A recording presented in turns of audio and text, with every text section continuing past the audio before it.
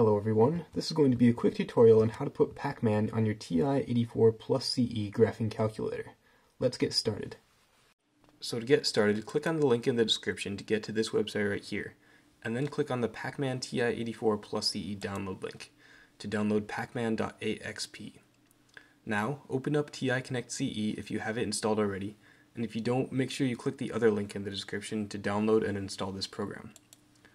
Once you have the program open, click on the Calculator Explorer tab, and then plug in your graphing calculator using the charging cable.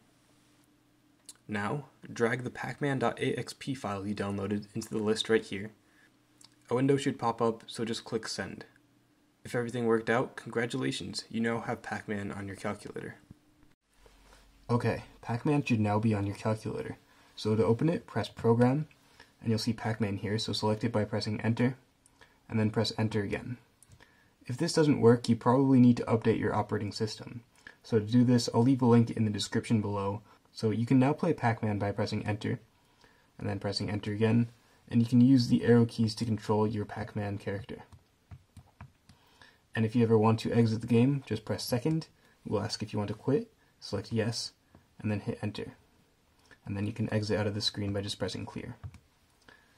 I hope you found this video helpful. If you have any questions, just leave them in the comments below, and I will see you in the next video.